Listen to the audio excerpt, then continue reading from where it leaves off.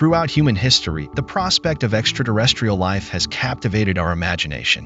In 1984, Jill Tarter and Thomas Pierson initiated the Search for Extraterrestrial Intelligence or SETI project, aiming to detect radio signals from space using the unique Allen Telescope Array in California.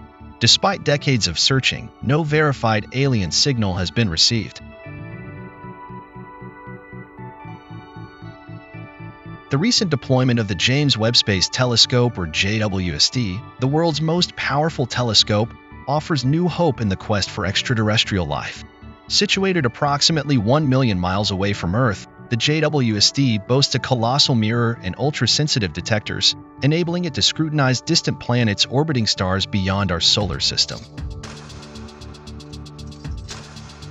The discovery of over 4,000 exoplanets in the last two decades has expanded the scope of this exploration, with NASA estimating the potential existence of trillions more.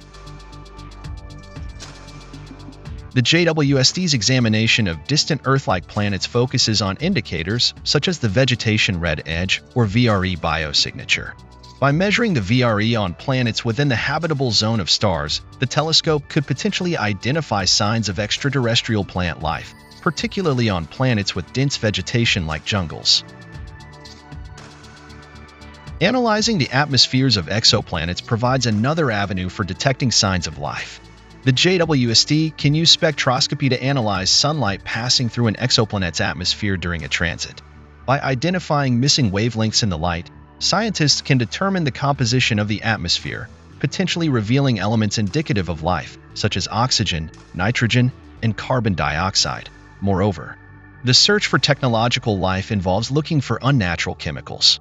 For instance, the presence of chlorofluorocarbons or CFCs manufactured for industrial purposes on Earth could be a potential indicator of an advanced civilization. Jacob Haqq-Misra has proposed that the detection of CFCs in exoplanet atmospheres might signify the presence of extraterrestrial technology. While our understanding of life is rooted in Earth's biology, the possibility of unconventional life forms cannot be dismissed. Extremophiles, organisms thriving in extreme environments on Earth, illustrate the adaptability of life. However, the focus in the search for extraterrestrial life remains on Earth-like planets, where conditions conducive to liquid water and stable temperatures could support familiar forms of life. Considering the vastness of the universe, red dwarf stars become intriguing targets for exploration.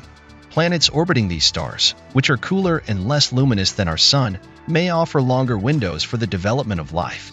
The JWST's first project, examining the TRAPPIST-1 system with seven Earth-sized planets orbiting a red dwarf star, exemplifies this approach.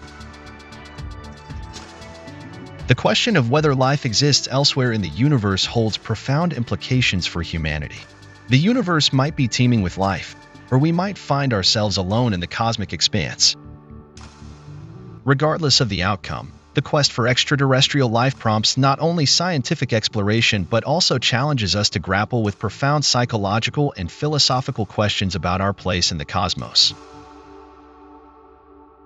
Viewers, what do you think about the recent activities of NASA's James Webb Space Telescope to detect life on a planet outside our solar system? Write your opinion in the comments section. And if you liked this video, then hit the like button to encourage us to make more videos like this for you.